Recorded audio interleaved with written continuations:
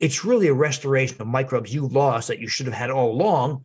That remarkably, to this day, guys, I'm I'm astounded at, for instance, what Lactobacillus reuteri can do for you. So Lactobacillus reuteri, you may recall, yes, takes up resident small bowel, produce bacteriocin, so useful for SIBO, but also sends a signal retrograde to the vagus nerve to your brain to release the hormone oxytocin, the hormone of love and empathy. So people say, you know what? I love my partner more. I love my children more. I love my co I get along better with my coworkers. I'm more generous, my favorite.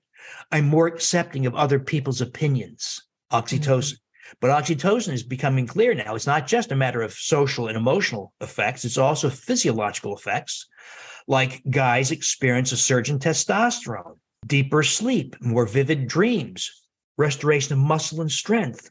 You know, older ladies, typically in their late 60s and 70s, uh, develop vaginal atrophy, dryness, irritation, loss of libido, and repeated urinary infections and urge incontinence. You laugh and you you wet yourself, you pee.